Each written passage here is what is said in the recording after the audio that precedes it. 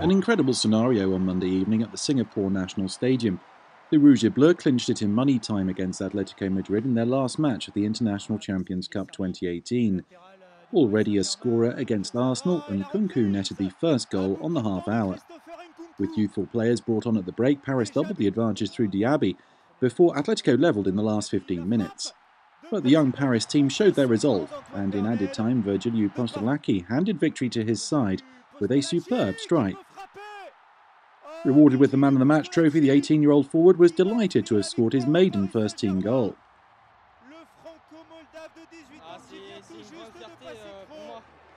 Being here with the squad for this tour was already a source of great pride to me, so to have scored in this last game. Well, I was impatient to net that first goal, and it's happened. I'm proud of the team. We were solid mentally and didn't give up on anything right through to the end. It proves that the young players can bring something to this team, and that's good for the coach and the staff.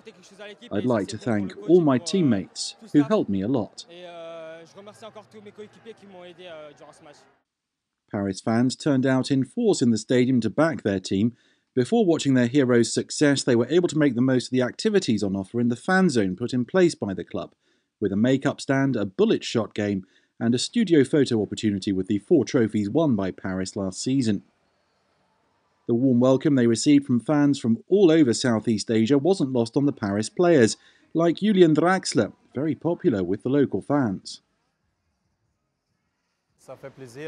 The backing of the local fans makes me happy. Having lots of supporters in Singapore and all over Asia is really very positive for the club and something we're very happy about. The day after their win, the Rouge et Bleu trained for the final time in Geylang. The players from the capital club are preparing for their first competitive match of the new season coming up in a few days' time. And it's in Shenzhen that the Trophée des Champions 2018 against Monaco will take place. We'll see you in China on Wednesday for another 100% Rouge et Bleu Daily News.